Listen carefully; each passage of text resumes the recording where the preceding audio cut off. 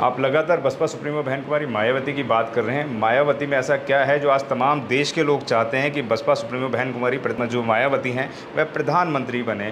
क्या फ़र्क आ जाएगा उनके प्रधानमंत्री बनने से, वह हमें बताएँ।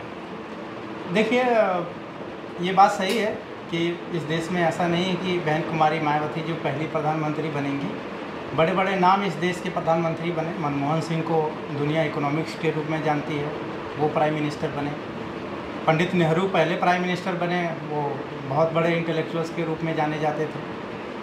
तो ऐसा नहीं है कि बहन जी ऐसा क्या परिवर्तन कर देंगे। हाँ लेकिन जो बाबा साहब ने संविधान हैंड ओवर करते, जमा करते समय जो बात एहतियात बरतने की बताई थी, वो शायद, वो कल्चर इस देश में पैदा होना शुरू हो जाएगा। वो कल्चर क्या है?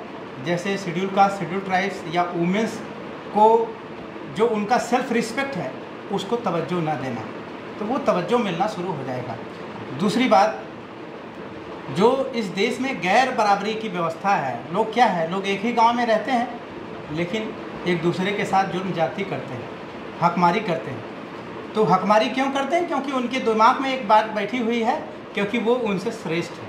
ये जो इन्फीरियरिटी और सुपीरियरिटी कॉम्प्लेक्स का मैटर है वो बहन जी के नेतृत्व में जब सरकार बनेगी तो कहीं ना कहीं वो लोगों के दिमाग से ये बात उतरेगी कि नहीं इनको हम इन्फीरियर नहीं कंसिडर कर सकते हैं। इनके अंदर भी वो टैलेंट है। इसलिए जो बराबरी का जो विचार है वो समाज में बराबरी के विचार से लोग आगे बढ़ना शुरू करेंगे। लोगों की सोच में परिवर्तन होगा और आपको पता है कि अगर बराबरी के आ, का सोच इस देश में लाई जाए अगर इस तरह का कल्चर बने तो ये इस देश के अंदर बहुत पोटेंशियल है, जो इस देश को क्या है, ऊपर उठा सकता है, देश दुनिया में इसका नाम आगे बढ़ा सकता है।